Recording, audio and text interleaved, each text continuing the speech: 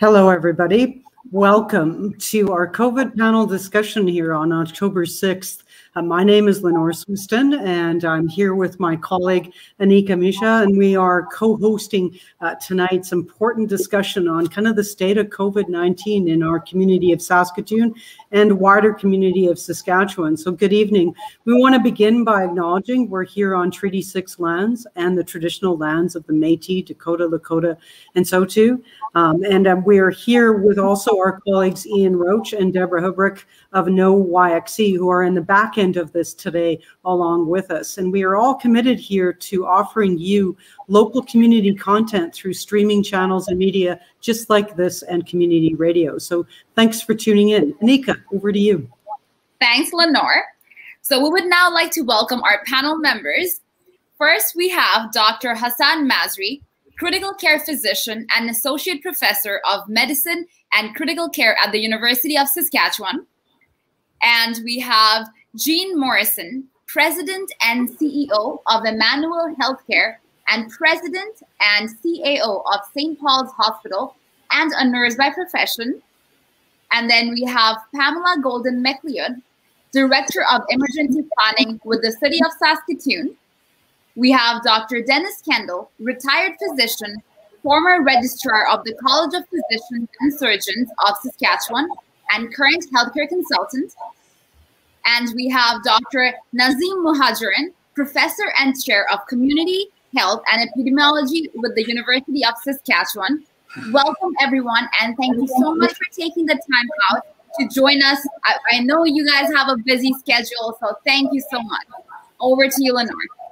Yeah, thank you so much. So as we've done with previous show, this forum will be conducted in essentially three key parts. First, we're going to ask some questions of each of the panel members.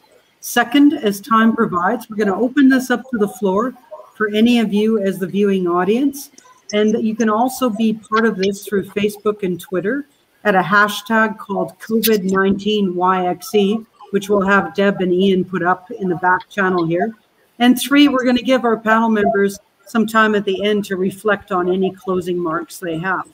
I know we're getting a little bit of back channel noise right now, so I hope that we'll be altering some of that here soon.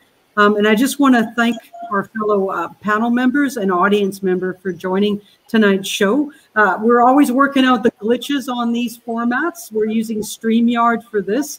So thanks, thanks for uh, coming in on that. And please look to, to sharing the views of this afterwards on your various channels through Voice of Saskatoon, Civically Speaking, and any of our panel members. So back to you, Anika. Perfect. Thank you, Lenore. So yeah, as Lenore mentioned, feel free to, um, if you have any questions, concerns, comments, feel free to put that down there and we'll be more than happy to address that um, near the end of the show. So my first question is, um, we'll start with Dr. Muhajarine. Over the next two to three minutes, please share your perspective and experience regarding the current situation around COVID-19 in our city and province as a whole and beyond.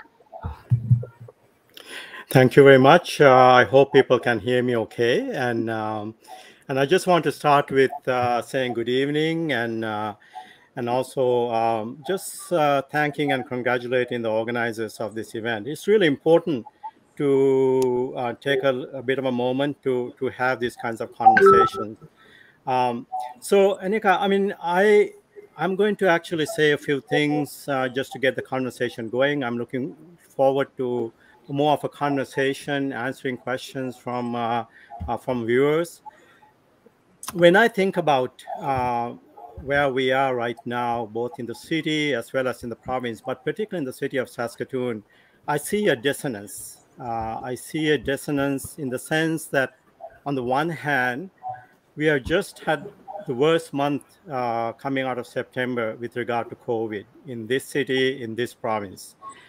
I don't think I need to really go over the, the statistics really right now. Uh, right now, I mean, it is very well known. I think the healthcare system has been absolutely under stress. This is what a healthcare system under stress, pushed to the brink, looks like. Um, vaccine uptake has slowed to a crawl, although there has been a little bit of an uptick in the past two weeks or so. Uh, there's a long way to go to that herd immunity, even if we could get there and uh, and about um, uh, school reopened uh, in, sept- in in September with no overall government mandate public health policy regime or protocols in place. So that is on the one hand. On the other hand, when you go outside, when I go outside in our community, there seems to be a palpable lack of urgency, and I, I and I say this because because I, I do go out there. I mean, I was uh, on Broadway, you know, during the uh, Broadway Street Fair, almost even a complacency and, a, and, and maybe a fatigue among people in our community. Uh, so on the one hand, I see healthcare system under tremendous duress. We are having one of the worst experience since the pandemic arrived here, you know, right now and, and, and in September. But on the other hand, people seem to be uh, just going about their business, you know. So I, I kind of uh, note that as a, almost like a bit of a sociological observation. Um, last, the other point I'll just make, and then uh, I'll pass it on. I think this could be a reflection of our political leadership. In fact, a lack of political leadership, and uh, and it could also be how us prairie folks handle a pandemic.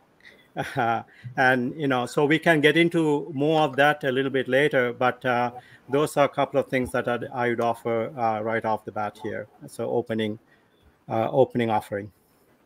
Thank you so much and very well said. Um, we'll go to next Jean Morrison please. Oh you're muted so. Thank you it's a pleasure to be here tonight with everyone and I'm to be with an esteemed crowd who have all kinds of knowledge. I hope to contribute, but um, I have the good fortune to actually uh, visit facilities all over the province and work every day, talk to people from hospitals and long-term care settings across the province. And I would say, you know, not different than what we heard from many others, that the hospitals are maxed out. And certainly the city hospitals are maxed out. But even in the rural areas, those hospitals are seeing unprecedented amount of, of work coming and going from their facilities and the beds are full and people are very sick we don't have people in beds who aren't sick nearly all healthcare facilities in the province have significant staffing challenges when someone calls in sick there is no one to replace them most times it's very infrequent we can find someone and when people are putting up postings to fill positions you hope to have qualified applicants.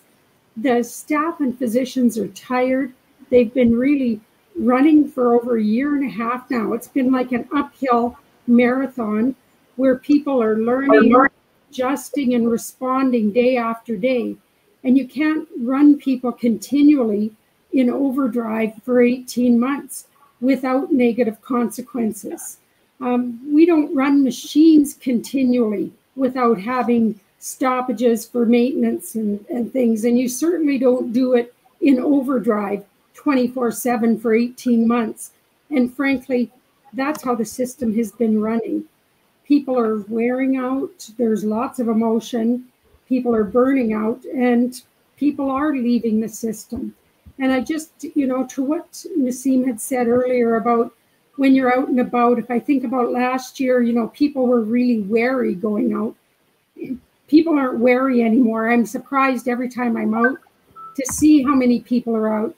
And I would even say, you know, in the cities, people keep their distance at stores pretty well. You see many people wearing masks. You don't see that all over the province all the time, though. It is it is different. We have different cultures in different locations, and you see vast differences across the province. Thank you so much for sharing your comments. And um, next, I'll go to Dr. Masri. Oops. Um, you're muted. Good evening, everyone. Uh, it is my pleasure to join everyone uh, this evening. You would think after a year and a half of uh, using Zoom and uh, all these things, I would remember to unmute myself before I start speaking. Uh, but uh, that pandemic of unmuting myself is not over anytime soon.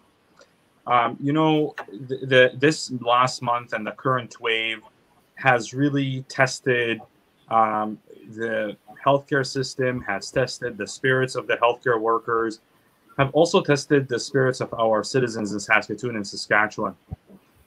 You know, I could speak uh, with relative authority, you being in the hospital and ICU, that our ICUs are not beyond capacity.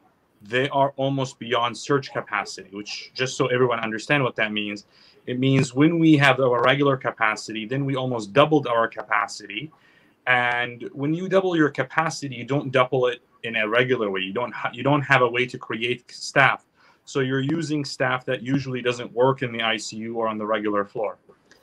And beyond the fact that the ICU is full, we have people who are on the regular floor uh, in the hospital who, if it was 2019, they would not be on the floor, they would be in the ICU. There are real consequences to that. But the problem is when you have something going on for 18 months, people get really tired, including all of us, uh, speakers and listeners. We get tired of even talking about statistics. And fortunately, COVID doesn't get tired. And what we're seeing here is that in the first wave and the second wave and the third wave, there was a direct impact to people who got COVID and then there was a significant financial impact to some of the businesses outside of the hospital. But what makes the fourth wave extremely frustrating and dangerous is that the impact is actually being felt by everyone. Just over the last two weeks, we have had to impact 3,000 families in Saskatchewan by canceling their surgeries and procedures. Surgeries and procedures that may either save their life in the next few weeks, months, or improve their lifestyle over the next many months. So this is really, really serious, and it's it's tough to say to people it's serious when we have been saying that for a long time. So now people are like, well, how serious is this? And it gets diluted in the message. But it's not all doom and gloom. Over the last three weeks, what we have seen is that people, whether because of the mandates of the government which finally did some action, we have seen that the vaccination rates have doubled and tripled in certain weeks. And that tells you that the role in a, in a, in a, in a society like ours, there is a role for physicians, there's a role for government, there's a role for media, there's a role for everyone. And I think that if we collectively as a society understand the consequences of inaction, um, and that it is not going to escape anyone. You know, I'll, I'll finish with this. One of the very famous stories in in uh, in our culture that I, I love to always reflect upon is that we are currently in the fourth wave riding a boat with a big hole in that boat, and the unvaccinated are in the bottom floor of the of the boat, and the vaccinated are in the second floor of the in the boat. And if the vaccinated people don't act fast enough, not only the unvaccinated will drown, but everyone will drown. So we have a responsibility to understand that in order to thrive as a society, we really, really need to plug that hole and save everyone, including ourselves. Thank you, Dr. Masri, and very well said. Um, over to you, Pamela. Okay, I have to find my mute button because we have this deal going that if we start speaking without unmuting in my workplace, we owe two dollars to a charity. So at this point, I'm turning over almost my whole salary. um, you know, I share. I'm going to speak from. You know, everybody else on the panel has a connection to health, and I, and I don't. So I'm speaking more from, you know, the planning side, from that side outside of health, and how this is impacting us. And I will say we are exhausted too. Um, nobody is meant to have you know this type of adrenaline need to be responding all the time for 18 months two years. And it, it, has been hard. I would say the last month i've been involved with more meetings where people are in tears and look exhausted and are struggling. And people who care passionately and deeply and, and want to keep things going. One of the things um, one of the things that we tried to do at the city is we brought in a framework for our response. And we looked at um, you know indicators and we worked with our, our health partners and epidemiologists and the university and came up with some indicators and came up with a framework for measures based on those indicators. And one of the reasons we really need to do that is because you know our staff are you know feeling like they've got no control over their lives. They've got no control over what's happening at work. You know things changed constantly. Mask wear a mask don't wear a mask. Change you're now in close contact so you have to wear this type of ppe and in the community as well you know what's going on with our civic centers? What's going on here? What's going on there? And so we really wanted to bring in something that will give people the indication of here's what's going to happen. You've got some feeling of control over your life some feeling of control. And also if we all work hard together here's the level we'll get to and what that will mean for us and you know i think that's one of the things is everybody's exhausted but everybody's anxious about things and needs to have some, some sense of control over their lives again. Um, you know beyond the health impacts you know we've had businesses and services that are critical that have been trying to plan and ensure that they're they've got good business continuity plans and they've got a good emergency response plans and that they have plans in place for if their staff members get get covid and how they respond. Um, you know, when you look at the deaths that have occurred, those deaths are people in our community who work in our community, who have relationships in our community. And when you look at 10 deaths a day and five deaths a day and eight deaths a day, those are families and communities that are impacted deeply and workplaces impacted deeply repeatedly in the last little while. And so I think that's something to realize is that um, I wish I wish we honored deaths differently in the announcements. And I wish that we acknowledge the impact on our community of those deaths. So I think, you know, Dr. Mark Fenton spoke to City Council last week. And at the end of his presentation, we were all thanking him and saying, please thank the health workers that you work with. And he pointed out that there's 4,500 Saskatchewan Health Authority staff members in Saskatoon. He can't talk to each one of them. The best way for us to thank them is by doing something, by making changes by having overt actions that will lessen the impact. And so that was the challenge he laid to us, and that's how we're we're trying to proceed. Thank you so much, Pamela. And last but not least, Dr. Kendel. Thank you. So I'm going to uh, speak at a more macro level about policy uh, decision making in the midst of a pandemic. Um, there is a concept when dealing with life threatening circumstances, that time is of the essence. And um, what we have generally observed, uh, both globally and across our nation, is that public leaders who responded quite quickly and decisively to the threat of the pandemic uh, got better outcomes than those who waited longer until things were more out of control. And similarly, if you withdraw the protections too early, then the virus is opportunistic, so it'll seize the opportunity to spread more aggressively. In our society, in a federation like Canada, we have a division of powers between the federal government and the provincial government. And then we have division of powers between municipal governments and our provincial government. And uh, in the health sector, a very large proportion of the decision making is vested with provincial governments. They are given the responsibility and authority to, to make decisions. And regrettably, our provincial government has been among the ones that has been slow to act when we first were threatened and too quick to uh, draw back controls on July 11th. And consequently, we in Alberta are faring the worst in this country at the moment with very tragic impact. Each day when I see the number of deaths, uh, I agree with uh, Pamela that we, we, we don't rightly mourn what's happening. It's just a number on a screen, but actually each day when there's 10 deaths or today seven deaths, it's seven families ripped apart uh, in terms of uh, their lives. So I would plead with our provincial government to step up to the plate and become more proactive and to cooperate more with municipal governments and with other agencies rather than, uh, um, in some cases, uh, denying the requests of municipal governments as we've recently seen, the city of Saskatoon has asked our government to act and it's declined to do so.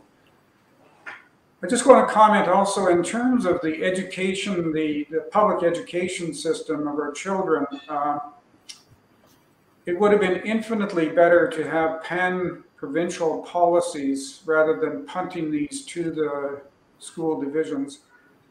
The school divisions vary enormously in terms of their uh, available expertise, and it's very difficult for some of them to actually make well-informed decisions. And so, uh, even though it's late in the day, I wish our provincial government would actually pull that back into its own domain and institute more uniform policies to protect children across the province. I will say that uh, it has been uh, it has been frustrating as a citizen to feel at times that economic interests are put ahead of human lives. But I think one of the things I'm beginning to hear now from people is that uh, when people complain, for instance, about the vaccine mandate and the necessity to show proof of vaccination to go into some businesses. And there was a list of businesses that uh, so-called freedom list that expressed opposition to this. Some of them weren't even impacted by it, but they expressed opposition. I want to say to people in the business community, there's a market and 70% of the people in this country, in this province, want more rigorous controls. And 30% So if you think you're going to cater to the 30%, you may be headed for bankruptcy sooner than you think. I think you need to pay attention to the overwhelming majority of citizens who want to be protected, and they will honor businesses that do that. I know more and more of my friends who are making conscious decisions to switch where they do business because a business that they thought respected their well-being has shown otherwise. So they're walking away and they're going to competitors. So uh, markets have a way of speaking, and I think the markets will speak. And I'll leave it at that. Thank you so much, everyone, for sharing your perspective and, and comments. And thank you everyone who's tuning in through different channels. And please feel free to share any questions, feedbacks, comments you have. And we'll be more than happy to take um, any questions and comments um, near the end. And over to you, Lenore. Yeah, thank you so much. Really, uh, you've got me leaning in and learning in. And I, that's always good. So, you know, this is a topic that, you know, as, as all of you as panel members have been saying, it's been around now for, you know, 19 months. And so in those 19 months, there's been all kinds of learnings, disinformation, misinformation, all this sort of stuff. And we've got questions all queued up for you on that. This next question, though, I want to focus in on just, and you've already touched on this. And, you know, Dr. Kendel, you know, I might come right back to you to lead this off. So I might break my own rule here on order uh, because I want you to start this off because you've been really public about this. You just spoke about, you know, what is it important for the public to understand going forward, especially in light of what we hear from all of the different leaderships that are out there, whether it's at a provincial basis or other? How do we sift through that to understand what's important for the public to know going forward? digging deep into that because it is very, very confusing as a public member, as you said, as a resident, as a citizen, to kind of understand how to navigate this. You know, as somebody who is is watching this every day and communicating every day, what are some of the things that we need to know as a public? So, Dr. Kendel, starting with you. Sure. Well, first of all, I think you have to make a reasonable decision about who are the most trusted sources of information. And of course, the you know the the media that the social media channels are rife with all sorts of misinformation, and and uh, often people you know get sucked down rabbit holes following some of that. Um, I just want to share an observation that. Uh, at a recent press conference, Premier Moe said that uh, healthcare professionals should answer the bell, was the words he used, and engage in public education about COVID. And in actual fact, a diverse array of healthcare professionals have been doing our best to do that right from the beginning. What I would say back to Premier Moe is back on August 26th, when all of the medical health officers jointly issued a three page recommendation or statement with recommendations over the signature of Cory Neudorf, uh, perhaps you should have listened and respected that considered opinion because, quite frankly, um, if you aren't willing to listen to the voices of people who have devoted their careers to this, then I think you're you're missing the boat. And uh, again, I would urge all citizens to pay more attention to people who actually are evidence-based in their recommendations as opposed to uh, some of the stuff that you will find online. Yeah, thank you, Dr. Kendel, for that. You know, over now to, um, you know, Nazeem. I always call you Nazeem. Um, so, but I mean, you're a doctor of epidemiology. You have been a point person on this for a very long time. And I just want to thank you for the service that you provided because you have been doing a lot of that public education on this and, and, and you've touched on it. But, you know, how important is it for the public to know this? Because there, you know, you can hear the urgency in my voice as somebody who's trying to help kind of move this along with evidence based. But where do we go with this? You know, Leno, I think I want to uh, talk about public health. You know, public in the public health, and uh, um, public health is uh, fundamentally about our society, our our government, uh, our country organizing itself to provide for our people you know its citizens uh, through laws, policies, uh, in order to protect, to prevent, to monitor, and to respond to uh, circumstances like we are finding ourselves in right now, COVID-19. Uh, there's such a successful history of public health. You know, um, when public health uh, does its work, does its magic, we don't see it. Uh, because we are preventing things from happening you know before it happens. Uh, and and what we have seen uh, in during this pandemic particularly in this province in our province is that um, that public health has been hamstrung has been has been um, limited you know by the political leadership. And I, I think i just want to say that i should have said that in the first go around. Uh, and this is why we keep coming to the political leadership and the political environment uh, because without the political environment and political leadership there's no public health. I just want to make that absolutely clear because if i don't make that clear i'll be not doing my public health work right here yeah. Know, at this moment. There are three things i think the public need to do i think moving forward. Vigilance. We have to uh, make sure that uh, that we know who we uh, gather with who we socialize with. Uh, these are very practical issues. You know, that's what I'm talking about. And and where we go, you know, the places we go and the environments that we go into, and so on. So we had we had to be very vigilant uh, about who we uh, who who we socialize with, and uh, and and where we go. The second point is about normalizing conversations about vaccines unfortunately you know since about 1980s or so i mean uh, an article that was later retracted uh, that that connected uh, vaccines with autism you know, gave rise to vaccine hesitancy, vaccine refusal. So actually, when we talk about that continuum of vaccine hesitancy to outright refusal, based based on ideology, almost, you know, this is not a new thing. You know, it has been amped up during you know during this pandemic, but it is not a new thing at all. And what we have to do is one way to counter that is to talk among ourselves what vaccines are about you know i want to i need to tell people that i'm vaccinated and i need to be able to ask people you know whether they are vaccinated. Normalize a conversation about vaccination. I think that is the best way to uh, combat i think you know vaccine hesitancy and vaccine uh, refusal.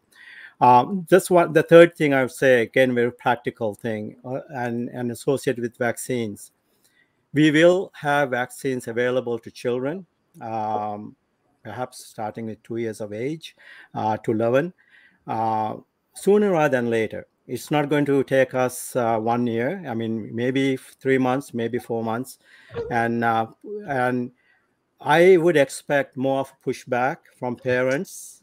If history, if precedence was to teach us something, we will see more vaccine hesitancy with regard to children getting vaccinated uh, than we have seen adults getting vaccinated we need our children vaccinated. So mm-hmm. I think we need to have those conversations now. We need to have our parents asking questions if they have questions and doubts, and we need to be able to answer them, you know, uh, in a in a in a gentle manner and a, in a in a in a manner that doesn't uh, you know, put them on, you know, get their backs up, put them on the defensive, mm-hmm. you know. And I think we need to do that as as professionals, as public health professionals, as medical professionals, and and so on. So vigilance, uh, normalizing vaccine conversation, mm-hmm. and anticipating kids getting vaccinated. We need our parents, our school division uh, heads, leadership uh, to begin to talk about, uh, you know, vaccine, getting vaccines to our kids arms uh, sooner rather than later. Yeah, thank you so much. And that is that's very helpful practical guidance. So I appreciate that, Dr. Muhajarine, because that's that's the kind of stuff that we need to know as the public, right? Because uh, you know, trying to sift through everything, I trust you. You're local. You know, we we will meet you in the grocery store. You know, at some point safely. By the way, so these are all good things. So, Dr. Masri, over to you. I know you always got wisdom coming from from the perspective that you are there, right in right in the front lines. Where you know, seeing people with this what's what's the message to the public that's important going forward with this? Oops. I think he owes two dollars, Pamela, to your account. Like probably two thousand at this point.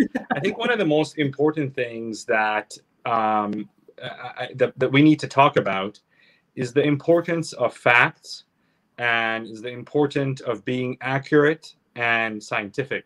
Mm-hmm. One of the mm-hmm. things that we have noticed throughout this pandemic is that facts uh, have lost their importance.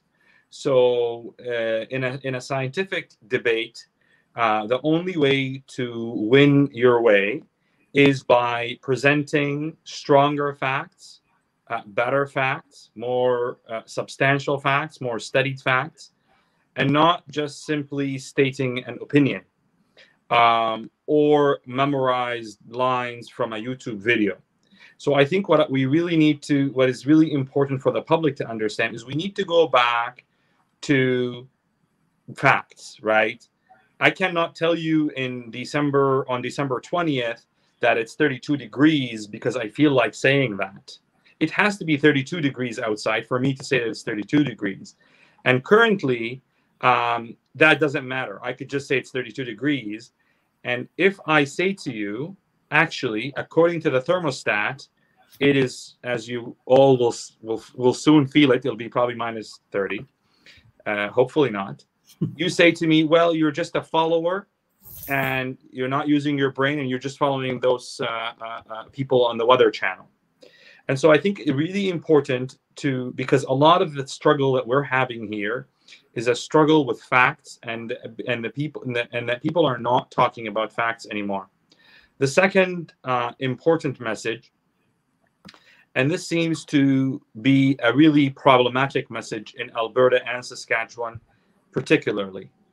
we're all for the economy and the economy is important but at no point i'm willing to ever equate the economy with the lives of the human beings so that's that, that to me is a no starter and the public needs to understand is the economy more important than the lives of the people in saskatchewan but even if for the sake of argument we assume that they are equal what we know for sure from nations and places where the economy was put ahead of the lives of the people, both did not survive. Not the people and not the economy.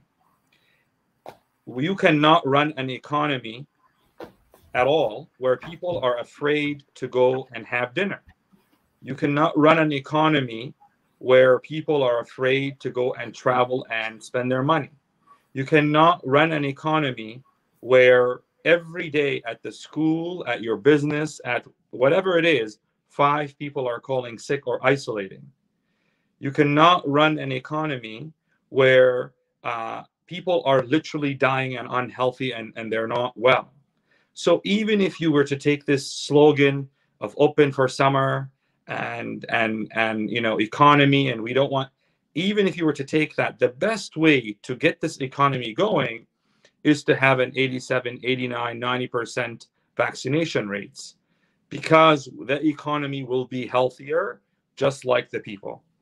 The final point that I think is, um, you know, extremely um, important to talk about when it comes to what to expect. There seem to be, and this is, uh, and and I, um, I maybe it is my fatigue as this uh, as this uh, pandemic goes, but um, I am losing some of my filters, so I will go straight to the point. It would appear to be that the Honorable Premier Scott Moe has put in the minds of the people that public health measures are punishments. And there are many people that look at this as such. Oh, I can't believe I have to mask, or I cannot believe that I cannot mix with 30 people indoor in a poorly ventilated area because it has come to our mind over time that if you do not behave, we will put public health measures. The reality is public health measures are some of the oldest things that we have in you know had in this nation for a long time. A very popular public health measure is limiting alcohol level in your system before driving. A very famous public health measure is making sure that kids have a specific seat to sit on. Nobody thinks of a child seat as a punishment for their two year old. In fact, people will raise their eyebrows if they heard that you are rebelling against that. Public health measures are not punishments. And we need to understand that. We need to understand that it's not because I failed, now I cannot drink and drive, or now I have to wear my mask. I wear my mask because I'm an outstanding citizen who cares about the safety of others and obviously myself. I think this is really, really important. My discussions with a lot of people would suggest that there is a deep misunderstanding of public health measures and people look at it as sign of failures or a punishment. We really need to change that paradigm. Yeah, thank you, Dr. Masri. That was a very good answer that builds on Dr. Masri's um, responses as well. So we've got some good learnings here. Pamela, you know, you're with the city of Saskatoon. You're with the emergency response kind of unit and emergency services and such. Um, and and and here we are, right? So building on this, what are some thoughts that you have that's important for us to know in our city of Saskatoon, and for that matter, transferring that to any other municipality out there? Well, there's a couple things I thought about when I saw this question. And the first one is um, I'm very concerned about the number of children who are getting COVID. And I'm concerned about their health. I'm concerned about their well being. But what concerns me, I think, has been referenced is the impact on the economy and the impact on critical services. When a child under 12 has to self isolate for 10 days and has COVID or 12 days um, and is ill, they need a parent staying home with them. And so I think I think it's very easy to sometimes downplay um, COVID in children and talk about how it doesn't have as deep of impact. And I'll look at our medical experts to, you know, provide feedback on that. But from a critical infrastructure point of view, there's a deep impact when that many children have COVID on our community and on our province. And the impact is in the workforce, the impact is in productivity, the impact is in services. And so I think sometimes I think it's really, really important that we focus on the health outcomes and the impact on the health health industry, sorry, health um, field. But I think sometimes we minimize the impact on the rest of the community with with COVID and the and the way the rest of the community has to be prepared for that. And from an emergency management point of view, I'm still telling all of our sectors, is your business continuity plan up to date? Is your emergency response plan up to date? Mm-hmm. What's your plan for a traumatic response if you have a staff member die of COVID? What are your plans in place for supporting your staff after that happens? And so I think the focus on health is very important, but there are so many cascading impacts that we're not talking about on a regular basis. And I think we have to start talking about those as well, because we've made it an either or situation and it's not. Um, and I think we all have to think about things differently and start thinking about how are we preparing ourselves. Um, Dr. Mohaj talked about, you know, those hard conversations. And that's the other big thing for me now is are you having those hard, courageous conversations with your family members? If you've got children under 12, are you having a hard conversation with their uncle who refuses to get vaccinated to the risk he's putting those children at? And I think these are conversations we need to get comfortable having. And if we have real, honest, open relationships with the people we love, we can have those conversations. We should not be scared of having those conversations with the people in our lives. They are critical conversations, and they're critical conversations with our with our coworkers and with our friends. And I think now is the time for us to think about what's our priority. Is our if you have a child under 12, how do you prioritize their safety and well-being? And what are you doing differently about that than you were a little while ago? And so I think it's time for hard conversations. And it's time for our business sector and our municipalities to start thinking about our plans for when COVID starts to impact us in a different way. Because when you have an employee die of COVID, which we are seeing, you know, when you look at the rates we're seeing right now, there's going to be no sector untouched. There's probably going to be no business untouched by that. What is your plans to support your employees after that happens? And what is that going to look like? Yeah, thank you so much, Pamela. I really, really appreciate that. Some really great building by panel members, and I'm really appreciating uh, viewers that have tuned in. Please do share this amongst your network right now, chat it up, and use this as part of the discussions that you're having with family and friends. And that we know that this is a hot button issue people have very very strong opinions on this and you know what we're trying to get the message through is get this based in fact grounded in the evidence and go to good legitimate sources of which you have on the screen right now before us Jean Morrison you know you are the president and ceo of a number of things that come under the umbrella of Emmanuel Health. And so when you look at that, that includes St. Paul's Hospital. And so when we think about this in terms of some of the things that you're having to message out to the public, please share some of the thoughts that you have on this. And I also want to, you know, share with people too, your background is in nursing. Uh, so you come by the front lines naturally and know this from right from the front lines all the way to the back lines and all that stuff we don't see. So uh, I look forward to hearing what you have to share right now.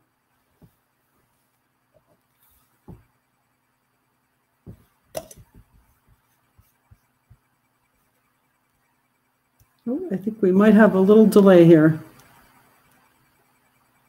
Oh, we six dollars. Yes. Um, when I think about some of the conversations that I've had with people over the last two to three weeks, because I do come from a healthcare background, you know, I was grounded in public health, and I really have had a lot of conversations with people about conscientious objection and what is it and reminding myself about that because people mm-hmm. do have a right to make a decision about whether to vaccinate or not in our province right now. I think with that, we have to remember that with that comes responsibilities, and it's that responsibility to be a an honorable and contributing part to your community to protect the rest of the community and to work to make sure they're safe. And you know, it's and with that, um, Dr. Masri talked about sharing that information with people and sharing facts with them and better facts. But we also have to listen because we shut down people right away if we come on too fast, too forcefully. People can't hear us. So, how do we keep those conversations uh, civil and keep the lines open? Because the vast, there are some people on the fringes who it, they're not going to listen to anything anyone says, but there's a lot of people who are waiting in a in a different spot for a variety of reasons, including fear, including just never got around to it. How do we share with them in a way that they can hear it from us? And I think personal stories help a lot. Um, I said to someone last week, I said, you know, I hear what you're telling me, but I also know what I have learned through my study and reading I do. And I also lived with an aunt and a cousin who both had polio and suffered the chronic disease consequences of hmm. polio the rest of their life. And if we can stop that, I think that's the sad part. We don't know what that aftershock is going to be yet. And if people knew now what that would be, it might change a lot of decisions. So, how do we have those discussions and get people opening that thought process a bit, little bit more? Because that's what really scares me, not only for myself, but for my grandchildren, is what happens to them in 10 and 20 and 30 and 40 years. People might hear that a little bit more. Yeah, thank you so much, Jean, for that response. And thanks to all the panel members for your thoughtful responses to this uh, second round of questions. Anika, you're going to start us off on this third round by going to some of the audience members in terms of questions there. So take it away, Anika. Yeah, thanks, Lenore. And thank you, everyone, for uh, your answers. Um, we're learning a lot, and thanks for sharing your very valuable feedbacks and perspectives. The first question that I'm going to be taking from the audience is from Iris Orisia, and she's asking, insofar as Delta variant, it remains the dominant threat and of course needs to be under control.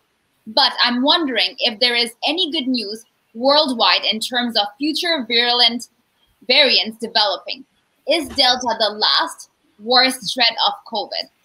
And by random order, I'll start with Dr. Masri.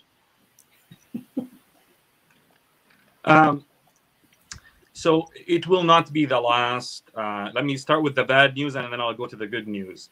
Um, you know, bacteria and viruses, uh, what they always do and what they will always do is try to outsmart us. Um, and we have an option here is to either allow them to outsmart us at a very rapid pace or to not allow them to outsmart us at a rapid pace. So it is not something that we have no control over.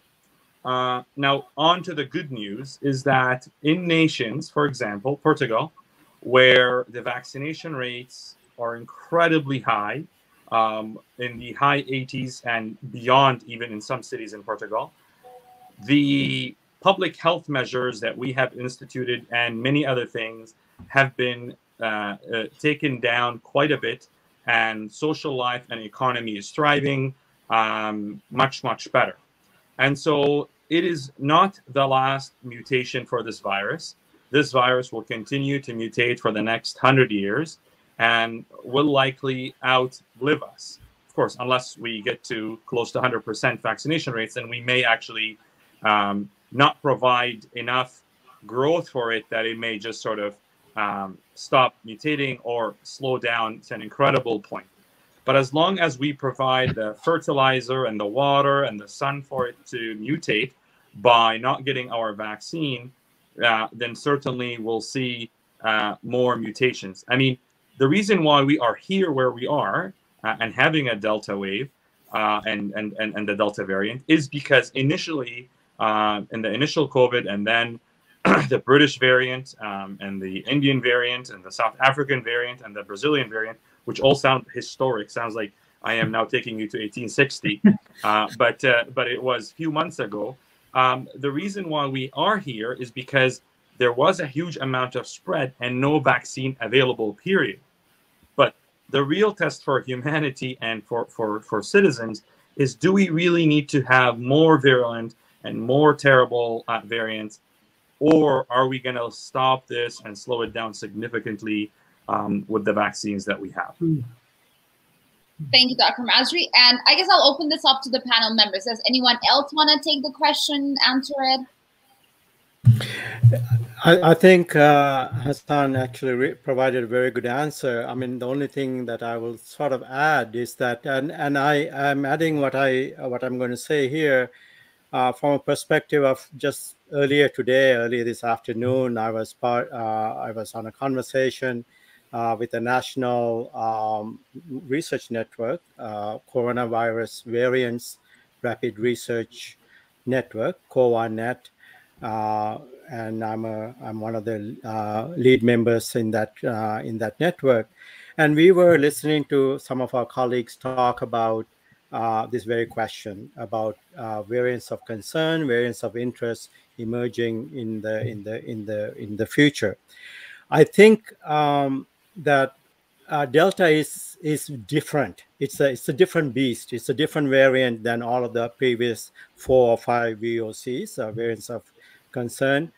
Uh, but I think we we if we get enough people vaccinated, not only in Canada, but globally, and I think that is important, you know, where there is vaccine inequity, you know, somewhere in this planet, you know, there are lot of people who are not vaccinated, you know, where uh, this variant or a future variant, you know, can take hold, you know, can and can spread, then that actually threatens all the whole planet that threatens not only that community that country it threatens us here in canada that threatens us here in saskatchewan saskatoon so it's really important for us to look beyond the borders of saskatchewan and canada mm-hmm. you know uh, and it's an important uh, important message to you know to to leave uh, leave behind i i think that um, i think human beings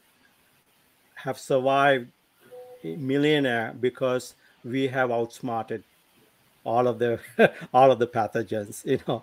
And i i trust i trust i i would bet on our on, on human beings you know. Yes you know we we could do more we need to do more and that is the whole point of, of tonight's conversation. But think about how quickly vaccines were developed unprecedented i mean mm-hmm. if somebody would have said mm-hmm. you know last September or last March, we will be vaccinating people starting December 14th, you know, 2020, they would they would scoff at you. They will, you know, mm. laugh at you. But I think I think human ingenuity, you know, will actually keep the virus at bay. I want mm. to say that because I think we can use some hopeful hopeful mm-hmm. signs and messages as well uh, we need to do everything we can, and uh, uh, and I think I think we will, uh, even though new variants will emerge, uh, in order for to keep new variants from not emerging, one thing we need to do is we need to make sure that it doesn't spread. I mean, I think people need to understand that with each new case, with each new case, there's a possibility for mutations to adapt to you know the host better mm-hmm. you know and and i think that's important that's why we say cut it off from the point of infection not at point of hospitalization or, or preventing deaths mm-hmm. cut it off right from the point of infection that is how we are going to get ahead of any any variants from emerging and and really uh, threatening in the future as well Thank you so much. Um, does anyone else want to take this question? Well, I, I, just want to say that I, I, I, think in terms of public education, you know, I, I, hear people often asking questions like, will this become like the seasonal flu, you know, influenza, mm-hmm. which uh, each year, you know, vaccines are prepared based on the evolving uh, uh, nature of, of, of, that organism, and, and then we go and get shots. And so I think there's going to be a lot of public education necessary as we move forward to understand how we ought to most intelligently respond to new variants. And, and already our colleagues have mentioned, uh, you know, trying the best to limit spread as quickly as possible is is just always the best strategy. Mm-hmm. Mm-hmm. Thank you so much. Um, I'll pass it over to Lenore. Yeah, so a couple more technical questions before we go kind of back to a to a macro perspective. So thanks to, to audience members that are that are firing out some questions right now. Here's one, just in terms of and and I know Dr. Muhajarine, you've you've you've spoken to this at some at some points, kind of when you've we've shared with the media, but to anyone on the panel here, do you feel at some point that a lockdown of some sort may still be in our best interest. That comes from Bobby Dawn. So thanks, Bobby Dawn, for sending this. But just curious is like, are we at that stage? We've got the highest numbers of hospitalizations right now. Dr. Masri's informed us of just like we're right at that scene level there right now. Like, is there any merit to thinking about that? And I know there are some, even in the media, some of the pundits out there that play on this in terms of, oh, this is just hysterics when we start talking about other men measures other than vaccines. But I'm hearing from this panel of experts that that's not just about vaccines, it's about all sorts of things. So, where do lockdowns fit in right now? Uh, Lenore, this is not a trick question, is it? No, not at all. Not at all. I think Dr. Masri's uh, comment, I want to actually kind of lift it up again, uh, mm-hmm. and that is, um, it is really well put, right? I mean, that mm-hmm. somehow from our political leaders, we have come to understand, and I'm using the royal we here, uh, we have come to understand that somehow um, putting public health measures in place, reintroducing public health measures when it is needed and quickly, exactly, uh, is a punishment. it's somehow for not being, mm-hmm. you know, good people, good citizens, you know, and and so I want to kind of start with that in answering this question. I have resisted in calling uh, uh, for lockdown or stay you know, stay at home order. Um, but the time may be, you know, the time may be now for a short break you know in in, in our activities. A, a short maybe a stay at home you know it has to be done very quickly and it has to be done very sharply. And maybe it may may even have to be done on a regional basis mm-hmm. you know. And i think all of this needs to be taken into consideration 19 months into the pandemic. I think that if this was happening uh, back in a year ago you know in 2020 we would be probably all of us many of us will be calling for you know stay at home orders and lockdowns. But mm. we are at the 19th month of the pandemic. You know we have been at this for a long time. And then to be to be thinking about a lockdown a whole scale you know lockdown is is just so unpalatable you know in some ways. I, I speak as a public health you know person. It's so unpalatable you know. But how, how do we how what what else do we do? I think we can do so many different things so so much more. We need to have restrictions and limitations on public gathering. That's mm-hmm. a measure to put in place you know than actually stay at home or lockdown we need to make sure that proof of uh, proof of vaccination orders policies extend to every workplace, you know, every, you know, closed situation, particularly schools. Some, you know, we already mentioned about a patchwork, mm-hmm. you know, uh, patchwork si- system of school divisions putting, you know, their own uh, policies in place. So we need to do that, you know, from the government. The government mm-hmm. needs to make sure that rapid test is scaled up you know uh, and rapid test is one of the tools we need to have in our armamentarium mm-hmm. you know Germany, Denmark. Denmark announced three weeks ago that COVID 19 is no longer a social threat. Japan did that last week. You know, mm. wouldn't we want to, we, you know, when would our turn come? You know, mm-hmm. where we declare we declare that COVID 19 is no longer a social threat because we have suppressed it and we have enough capacity, you know, to handle, mm-hmm. you know, COVID 19 situation mm-hmm. at the low, low level that it is. So I'm not actually kind of uh, wiggling out of this question, except to say that I still don't think lockdown, uh, a whole scale lockdown, is what is called for tomorrow.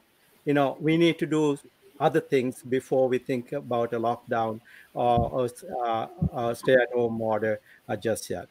Yeah, thank you so much for that, Pamela. Building on that, because we know what the city asked for, and you were declined on that by the province in terms of looking at some further restrictions at the municipal level. Can you speak more to that? Well, I think, um, you know, in emergency management, so emergency management is all about identifying a problem, getting the smart people together and solving the problem and coming up with steps to solve the problem. And, you know, emergency management is all about a level of response. So you think about in a fire department, you know, you might have a second alarm fire, a third alarm fire. And so one of the big things is looking and building indicators and data to make decisions.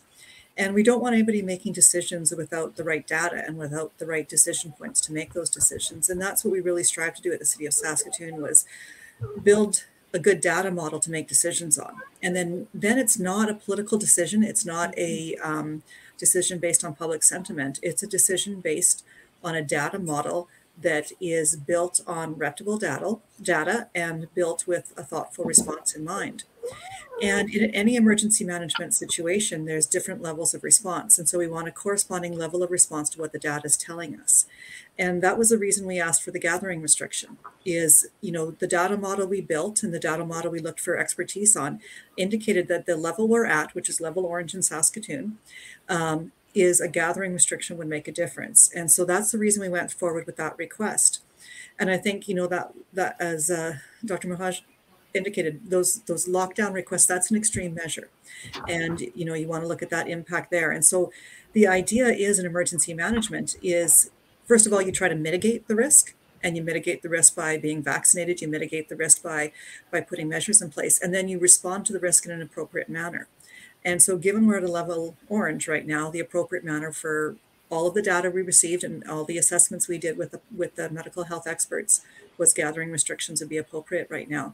And, you know, I think it's really important to note that the request we put forward, you know, um, had the had the um, added bullet that, you know, if if an event or a gathering of facility has proof of vaccination or negative test in place, then the gathering restriction isn't required. It's for those events, it's for those occurrences where you don't have that other mm-hmm. level of control in place. Mm-hmm. So I think that's what we're trying to do is we're trying to build a process and response based on data and based on a measured holistic response. Yeah, thank you for that. Dr. Kendel, I know you've been co- making comments on this. You know, what's your thoughts on this in terms of kind of the next steps? And I mean, to, to, to be fair, because they you know, this was asked by an audience member, like, do we need a lockdown?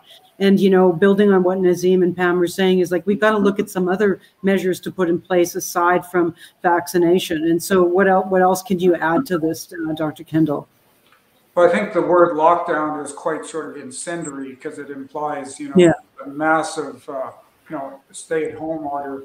Yeah, what I have been hearing uh, more really from people in public health uh, is uh, a call for a circuit breaker, which might be a fairly time-limited activity, uh, or order to restrain, you know, numbers of people meeting in, in particularly indoors for a period of time.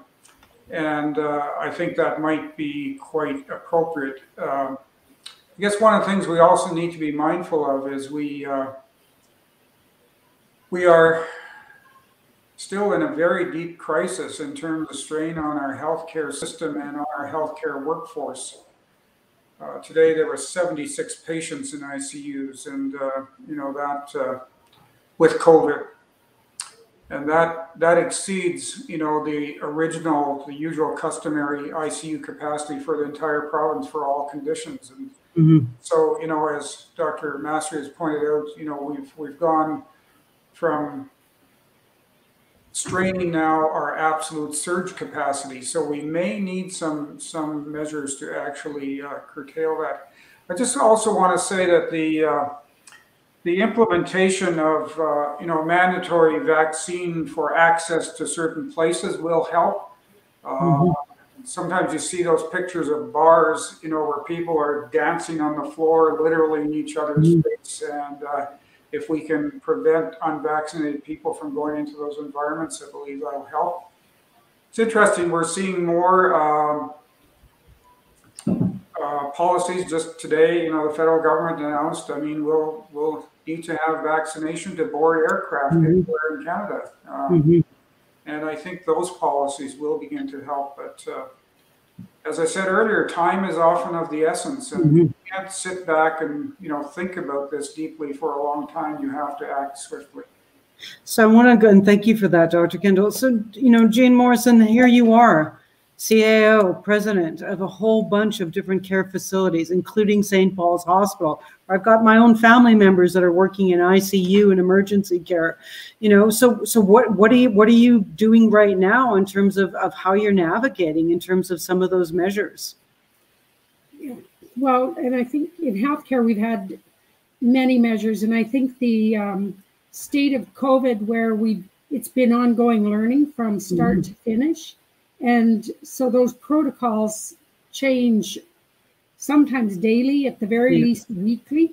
And it's a huge challenge making sure that that information gets out to all the people that it mm. needs to get out to and to keep people trained up and applying uh, the new information. And I think that's that's a little bit the part of the um, fatigue that people have and healthcare workers mm-hmm. some have is that it seems like things are always changing. And I have to sit back sometimes and think about, you know, yes, I read the newspaper, I'm on the internet looking at information. I go on the mm-hmm. SHA website looking for information. The average Joe isn't searching out those things because they mm-hmm. maybe aren't the most important thing in their life.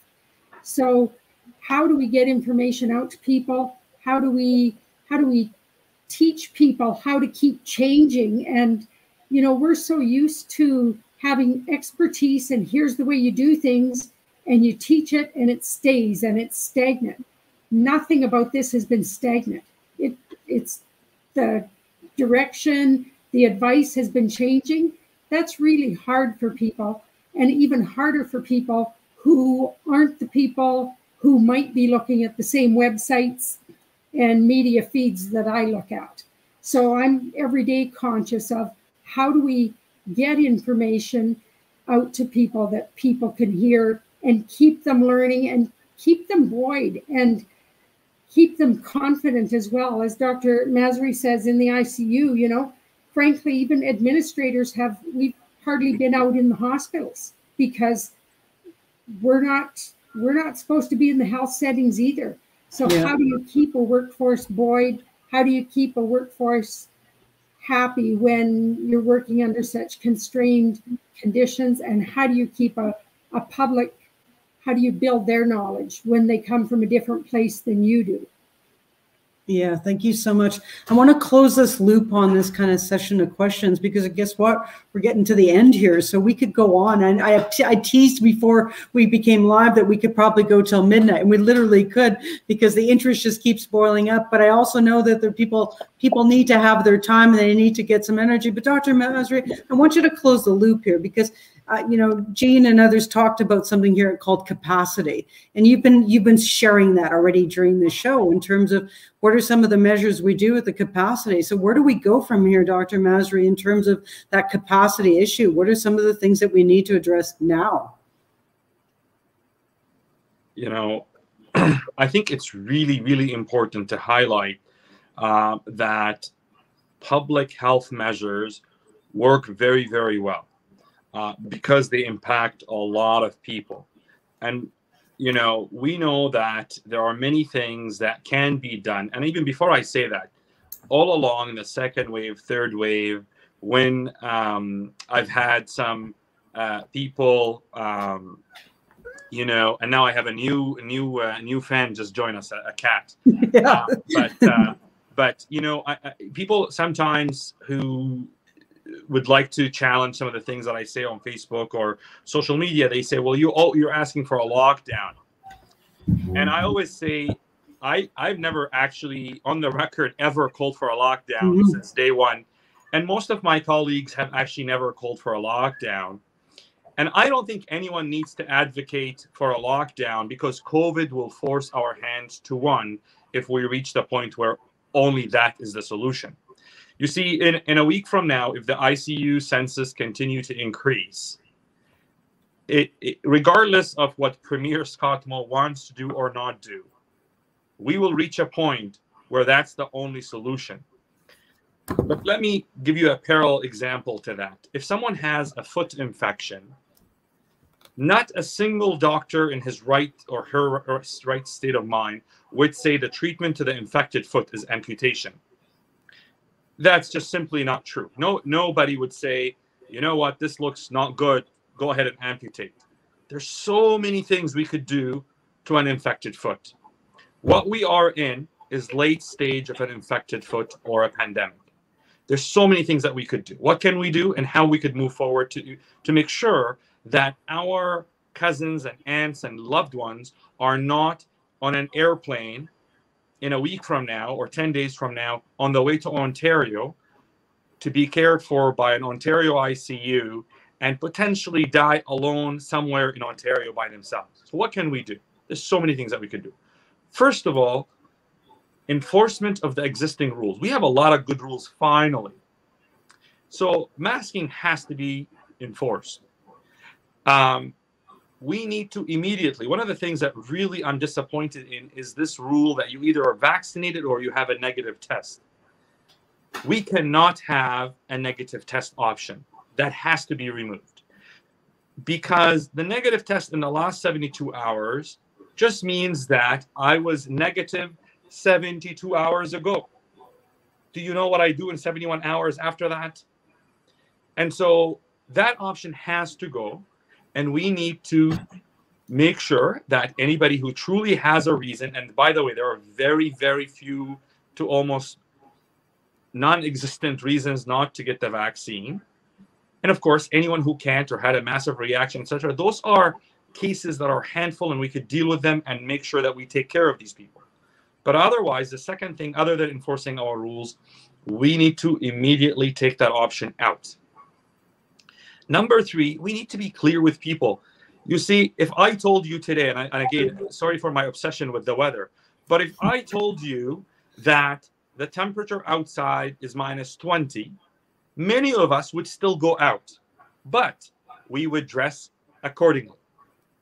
We're not saying that lie to the people. We we want we think that modeling data and information has to be shared. We need to share with people because I think look, I honestly, and I don't say this to be, uh, you know, adorable with the people watching or the people of Saskatchewan. I mean it. I think people are bright. I really, really believe people are really, really bright. That's how I talk to my patients. I, I don't talk to my patients like, you know, I am really smart and they don't know what I'm talking about. I share with them exactly what they need to hear. And I think if we are truthful with people, and I'm specifically directing to this towards uh, Honorable Premier and his health minister, we need to be very truthful. You know, the 200, 300 cases and previous to that 400 cases over the last few days do not reflect the picture.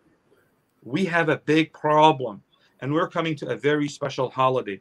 And the refusal to, to tell people that we are in trouble is going to lead to worsening of the situation. So I don't ever need to call for a lockdown because I promise you the lockdown will call for itself. So I don't need to be on that team. It's a very unpopular team.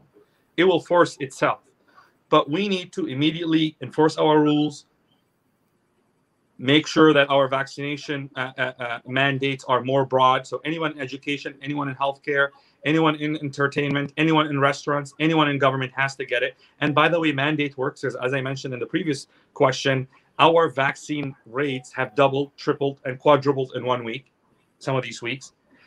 And finally, we really need to move that, um, you know, negative test. I'll say this. And again, it's like because we keep always saying to people things are bad, things are bad. People are like, okay, I've heard Masri say that like only 11 months now. The situation in the ICU is really, really terrible.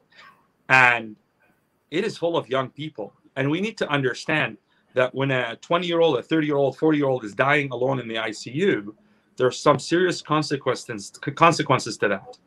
And those same people that I'm seeing in the ICU, I would say at least half of them, the first thing that they say to me, or the second thing that they say to me when they see me in the ICU, is they say, Is there any chance I could get the vaccine now? And it really hurts that we could not collectively as a society, and especially as a government, because I will always put the responsibility on, on the people who could lead policy, why could not I have reached that 25 year old or 35 year old and given them that vaccine just a month ago? Why didn't I mandate it? Because some people need that mandate, right? I mean, I don't drink and drive. Uh, you know, I try to put my seatbelt all the time, yeah. but I, it's good to know that there's a policy to govern that, and we need to really, really highlight that. I can't say this enough. We are in deep, deep trouble. You know, I, I sense trouble in the in the hospitals. Honestly, when I enter the hospital, like you could feel trouble. And this is not to scare anyone. This is not to inject any fear. But my message to you is make sure your gatherings this weekend are extremely small. Make sure that they're out as door as possible. And if someone is not vaccinated, you really want to try to avoid that at all cost and you really want to tell people to go and, and get that vaccine because otherwise this is going to drag for a very long time and there's going to be a really painful human price to all of this yeah thank you so much for those words i mean there's a lot of wisdom coming from this panel so thank you so much for that anika over to you for the last question of the night Thanks, Lenore. Yeah, so the last question before we go to our closing remarks um, is what do you think some of the key learnings maybe for the healthcare system and beyond emerging from this? And um, whoever wants to start, please go ahead.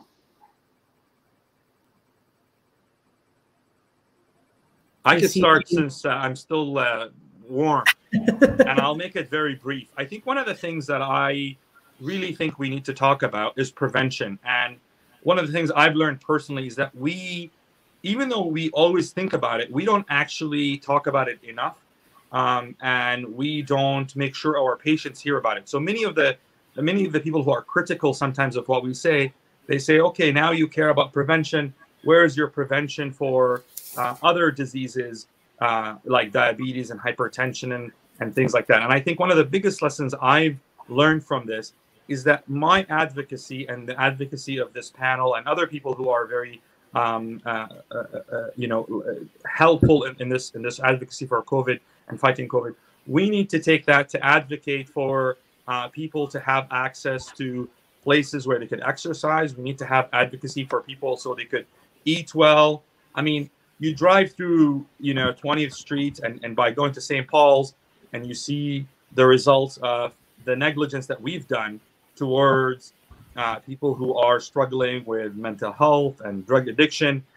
We need to take that advocacy of you know prevention to other diseases because we will have more credibility that way. You know, if I'm talking about prevention, prevention, prevention about COVID, but I'm not as loud in the prevention of other things, uh, then people will start to question my credibility. So I one of the lessons I've learned is that I really need to be very proactive with my patients, but also with the government, with our fellow citizens about prevention of other things and how I could advocate louder to use my voice to help people um, a- advocate for prevention of all these other things. Thank you so much, um, Dr. Masri. Um, I'll go to Jean Morrison. Um, I think one of the things that has really um, been a learning learning for me or that I've really come to notice is that the impact on families. You know, in healthcare, we've talked for years about client family centered care and including families in the care and how important they are to the well-being of those people we serve.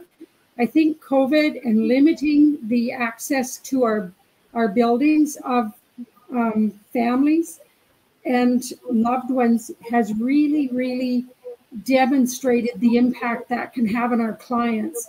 And it's really reinforced for me how much we still focus on on the physical health and well-being of people without looking at the psychosocial well-being and how those two are so tightly tied together. And I hope that as we move out of this, that uh, we are better with those learnings on applying, applying that on a day to day basis on including families and loved ones in everything we do. I don't think we have always or always do that as well as we might. Thank you, Jean. And um, I'll go to Dr. Nazeem next. You know, I my comment uh, is kind of twofold. Uh, one is uh, kind of from a professional point of view, and other kind of personal. Uh, from a professional point of view, I think um, one of the things that we have learned is how important public health is in the healthcare system continuum. when mm-hmm. we talk about, you know, it's wonderful uh, to see everyone who are in the front lines, in the wards, in the theaters, you know, operating theaters, talking about public health and public health prevention. And you know we are all on the same team. You know we we we are talking about health you know that whole continuum prevention to palliation really and everything in between. So I, I think that you know that is one of the things that we have to remember coming out of this pandemic. Uh, when the urgency is gone when the urgency is behind us we still need to remember that public health is important for a well-functioning, thriving society, you know, that we want to create. Not only hospitals, not only uh, clinics, but public mm-hmm. health is important. And uh, and I think I, I, I want to say that. Uh, we we've been here before. We were here in in 2003 you know uh, and, and, so on. You know we've been here before in hiv we were you know in 1990s you know but we keep learning our lessons about the importance of public health and then promptly forgetting it when that threat when that urgency passes us. The second thing is personal. You know um, one of the things that that this pandemic has taught me is that um, uh, the, the pandemic has affected all of us in multiple dimensions. It has affected me as a professional, but it has also affected me as a, you know, as a father, you know, as a member of the community, and and you know, and a you know, and a and a partner to you know, to to, uh, to my wife, and I think we need to keep that in mind when we are talking about this pandemic it's not only from a professional point mm-hmm. of view but mm-hmm. also personal point of view because everybody else you know is also experiencing this pandemic in multiple dimensions and i, I don't i think that you know uh, it behooves us to keep that in mind you know going forward thank you dr nazeem and um, next i'll go to dr kendel well, I concur with uh, everything my uh, fellow panelists have said. I just want to touch on two different facets. One is uh, um, I, I think we have learned some valuable lessons through this pandemic about care of the elderly and uh, that we have to look at different ways of uh, optimizing capacity of people to live in their own homes and to support them in the community and resist the urge to warehouse people in you know in four room long-term care facilities which are sort of death traps when you when you get a pandemic. So uh, there will need to be rethinking how we uh, how we support aging in our society uh, from a perspective of mitigating risk of, of pandemic harm in the future.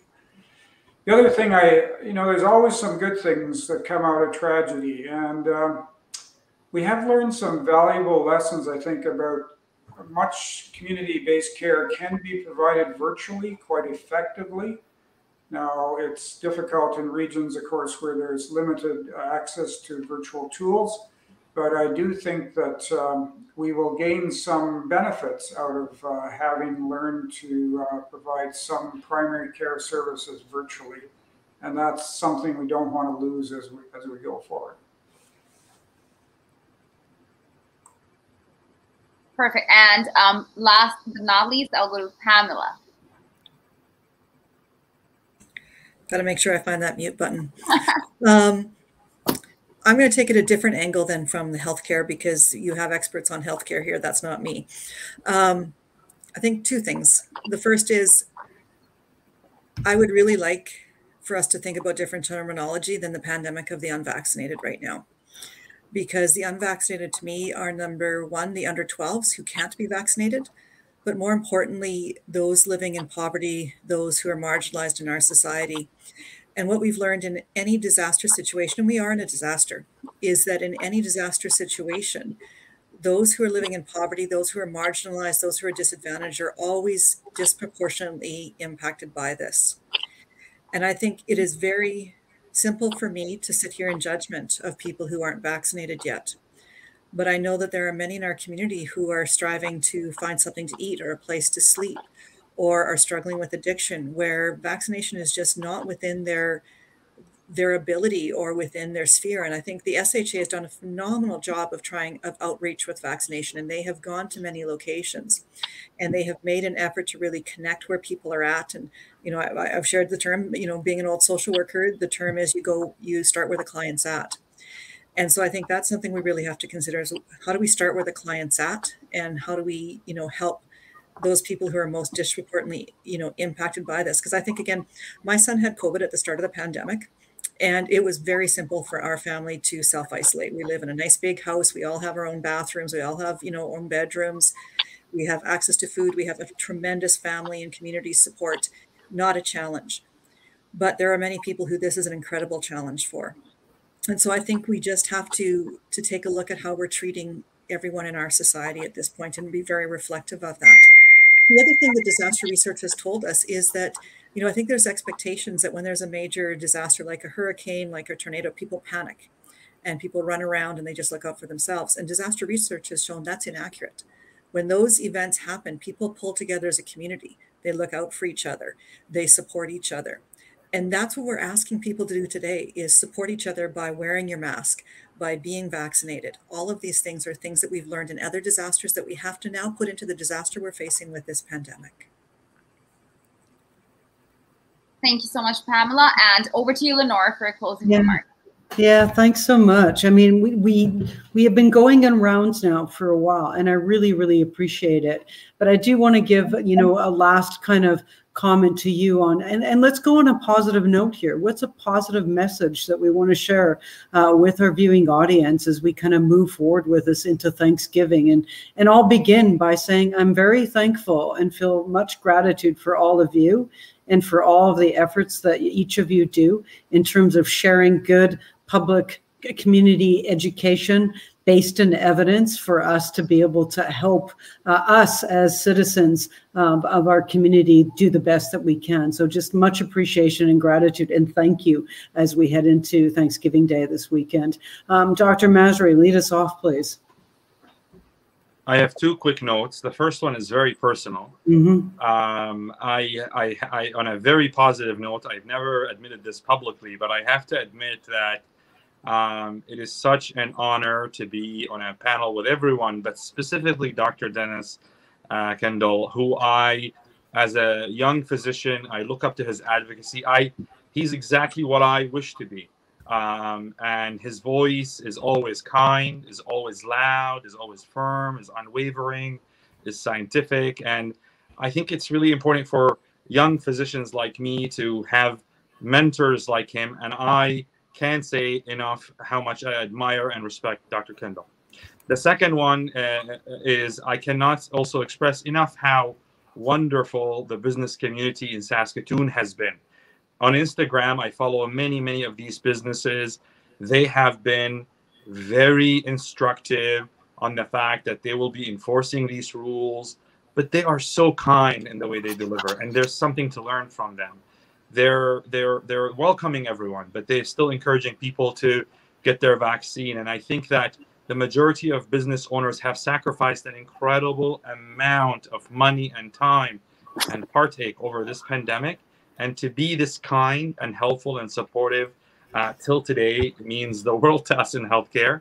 So I take my hats off to uh, every business owner in Saskatoon for being such wonderful helpers in our city and great allies. Um, and uh, and thank you for having me on a panel uh, right directly under Dr. Kendel. So I, am I'm, I'm really happy. He's right above me, and I uh, and I could I, I, I and uh, and there's a lot to learn. We, we really need to learn from all these. And, and again, not to take anything from anybody on the panel, but there's so much to learn from uh, from him uh, beyond the medicine. Yeah, thank you so much, Dr. Masri. And I, I got to put in a little note of thanks too for your stash now evolving into uh, a full facial beard there because we've been having a lot of fun with that through these panels. So looking good as we go into guess what November. so there you go. So I want to toss it over to Pamela as we kind of head into Thanksgiving weekend. Well, I also want to start with a personal note and thank my family. Um, I'm in a in a business mm-hmm. where they're used to me you know, getting a call and having to leave very quickly, but I've gotten a call 18 months ago and have not been as connected to them as I would mm-hmm. like to be. And we've had moments of time together, but I think, like a lot of the people involved in this response, those moments haven't been what they used to be. And so I want to thank them for their patience and their kindness with me. The other thing I'm thankful for is um, in the last 18 months, we've built different relationships in Saskatoon. And, you know, in emergency management, we always talk about your emergency go kit. And, you know, in your emergency go kit, you need some water and you need a, um, you know, you need a bottle opener, you need a can opener, you need some food. But I think more and more, before you even need those things, before you even need water, you need relationships and you need friendships and you need a community together. And so getting to know your neighbors, getting to know your community so you can help each other out. And that's really what we've been doing in the last 18 months. Um, I've worked closely with health in the past, but I've never had the type of relationships I've had with our health partners and mm-hmm. emergency managers that we've had throughout this. Mm-hmm. And I mm-hmm. think that's what we've all done is we've all bolstered our emergency response kit and our emergency go bag with those relationships. And I know for emergency management, that's going to be one of my focuses is who are we forgetting? Who haven't we talked to? And who do we need to share this with? And so who are we having those conversations with and that's what i'm thankful for is we are having these conversations we are building these partnerships we are building these relationships mm-hmm. and this will sustain us long term no matter what other type of emergencies we might face in saskatoon yeah, thank you so much for that, Pamela. Yeah, really appreciate that. Dr. Nazeem, as we call you now, um, over to you. Uh, you know, when 30 years ago, almost 31 years, uh, when we came to Saskatoon uh, from Massachusetts, uh, Catherine and I, uh, we didn't know what kind of a place we were coming to. I mean, I wasn't born in North America, and um, I, I came here uh, via Massachusetts, uh, before that, Ohio, and so on. Um, what I'm thankful for is the diversity that we have in this city, in this province, and in this uh, in this country of Canada.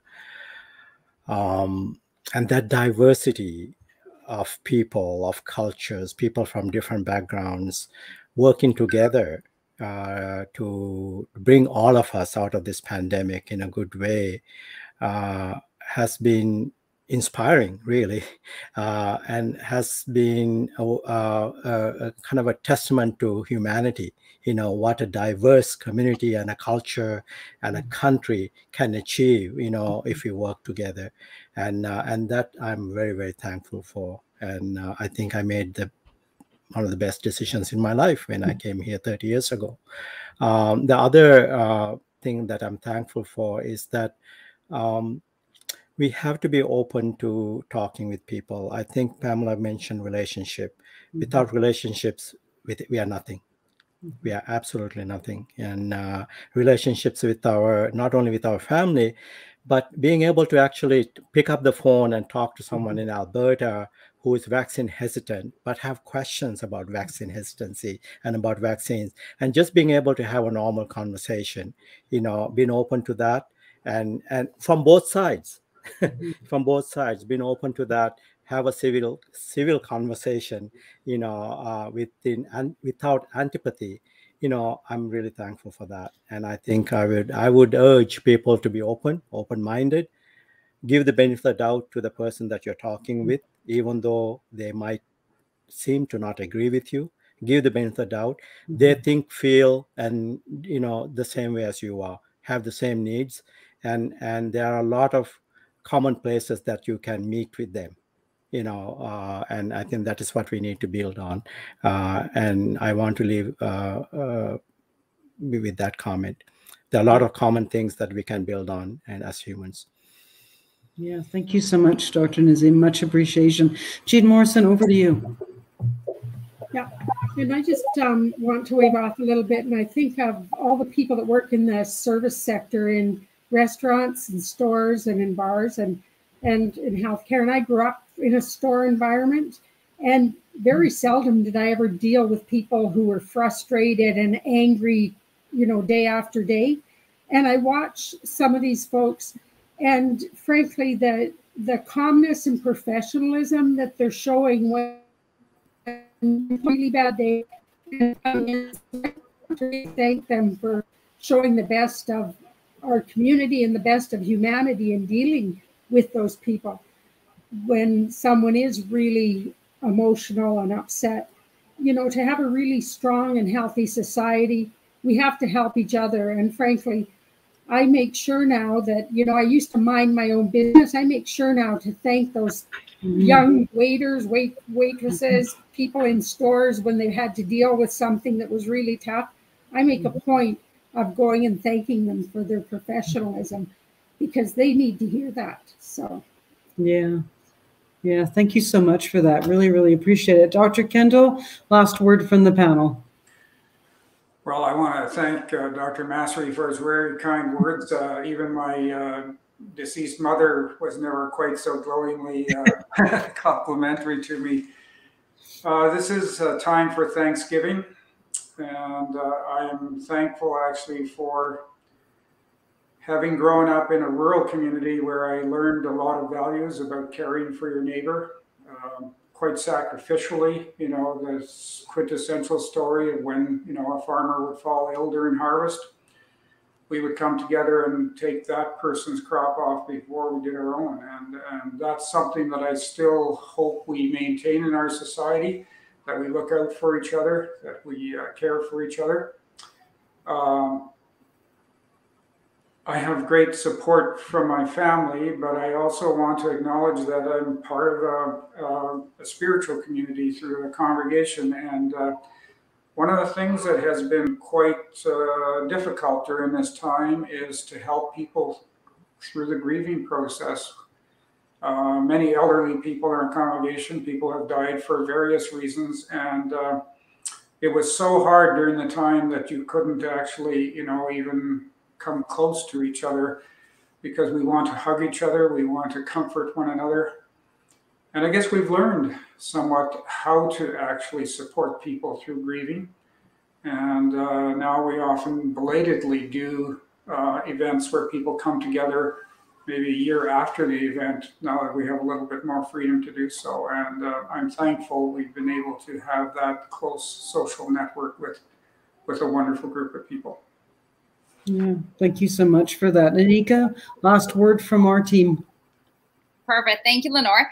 And thank you everyone for joining today. Much appreciation panel members for taking the time out to be here. Again, I know you're all very busy. And um, thanks to the audience members for tuning in for great questions. And we do apologize for not taking all the questions. We definitely, we always run out of time, but we'll be um, we'll make sure that we address all the questions in knowYXE page.